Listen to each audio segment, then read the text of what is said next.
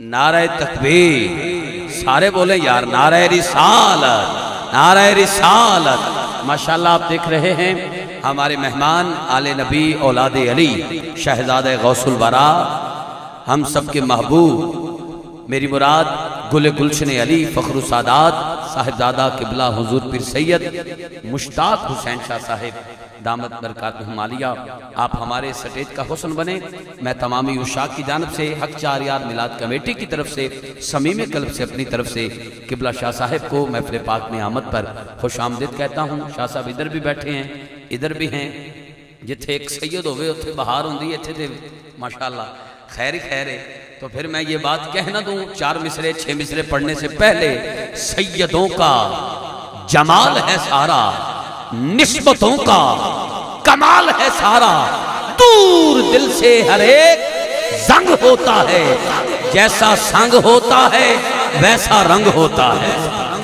अल्लाह आपको सलामत रखे। वेलकम कहता हूँ, शाह साहब से दुआ लेता हुआ छह मिसरे पेश कर रहा हूँ। ना तो मेरे पास मुल्तान का सोनलवा है, ना टी चौक मियाँ चन्नू की बर्फ़ी है, ना खुशाब का ढोडा है, ना खानपुर कटोरा का खोया है। मीठे मीठे छह मिसरे लाया हूँ, तोहफा वहाँ देता हूँ, जहाँ कदर हो। अगर आप सारे बोलने पे आ गए और सर पे जो खामोशी वाला परिंदा बैठा है, वो उड़ गया।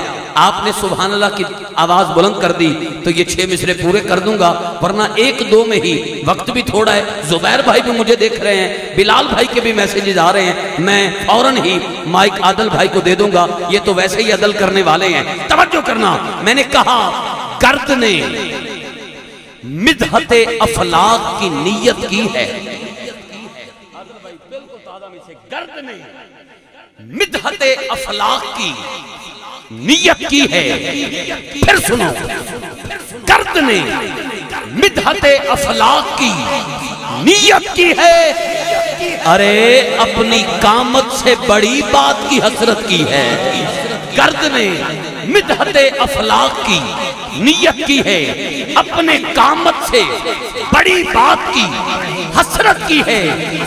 या रसूल अल्लाह आपकी जात से इस दर्जा मोहब्बत की है। या रसूल अल्लाह आपकी जात से इस दर्जा मोहब्बत की है।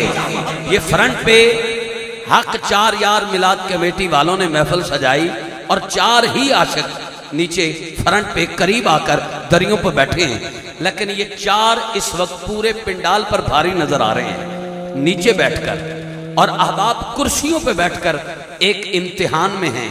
इम्तिहान में कि बोलें या ना बोलें, कुर्सी पे बैठकर बंदा थोड़ा सा नाज नखरे वाला बन जाता है, लेकिन जो हुजूर का अंदर से नौकर हो, उसे चाहे कुर्सी पे क्या तख्त पे भी बिठा दिया जाए, वो यही कहता है, उन्हें जाना। उन्हें जाना, उन्हें माना, फर्द अव्वल से लेकर फर्द आखिर तक, दाएँ से लेकर बाएँ तक, जिसका कीदा है उन्हें जाना, वो इस कुर्सी को हुजूर की गुलामी की सीट समझ के माँ के प्रिय दूध का हक अदा करके जितना ऊँचा सुबह अल्लाह कह सकता है, अब दिल कहे तो ज़मीन की अदालत लगा के फैसला करना कि कितना ऊँचा बोलना चाहिए, हाथ बुलंद करके उतना ऊँचा सुबह कह देना, मेरी हाजिरी हो गई। मैंने कहा गर्द ने मिदहत अफलाक की नीयत की है, अपने कामत से बड़ी बात की, हसरत की है। या रसूल अल्लाह आपकी जात से इस दर्जा मोहब्बत की है। नात लिखे हुए कागज़ की भी इज़्ज़त की है।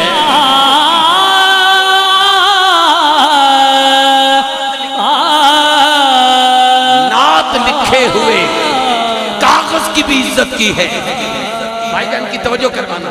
मेरी तरफ़ ज़ीरो तीन सौ चालीस अठासी इकतीस इकतीस, ज़ीरो। मेरा नंबर है। ज़रूरी मैसेज कर रहे हैं तो सुबहान अल्लाह भी मुझे मैसेज कर दें। वरना मेरा ये जुमला सुन ले, अल्लाह आपको आईफोन दे।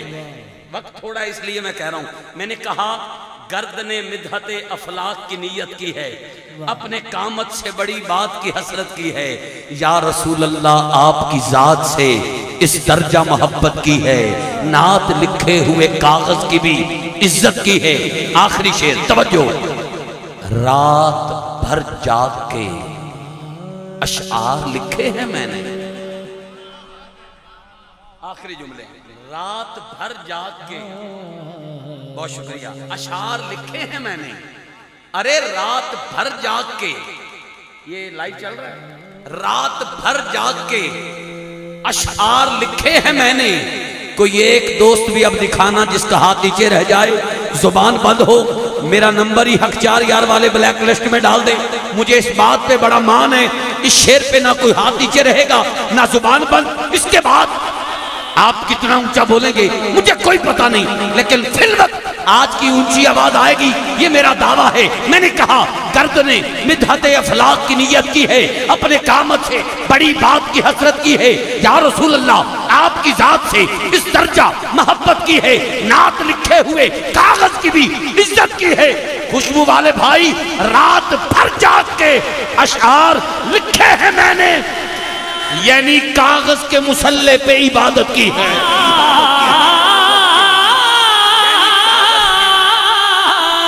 यानी कागज़ के मुसल्ले पे इबादत की है। कागज़ के मुसल्ले पे इबादत की है। आइए, मैं तमाश गुजार रावलपिंडी की सरजमीन से तशरीफ़ ला हुए खुशबू और खुशगुलू नाथ खां, जिनको अल्लाह ने बेपना इज्जतों से नवाजा है।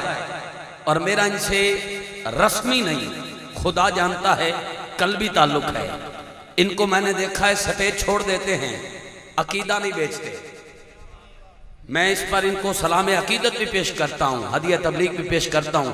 जहाँ गैर बैठे हों, जहाँ गैर बैठे हों, वहाँ पर बंदा अपने अकीदे का इजहार डंके की चोट पे करता नज़र आए।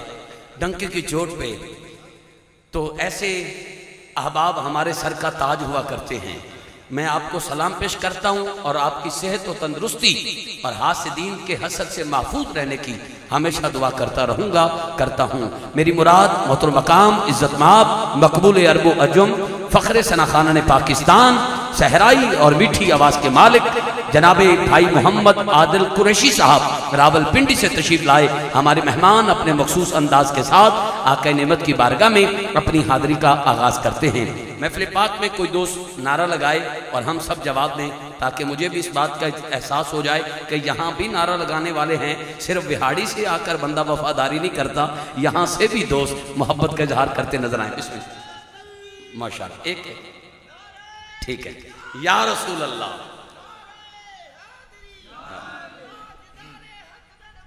जिंदाबाद जिंदाबाद। एक मिनट एक मिनट एक मिनट एक मिनट।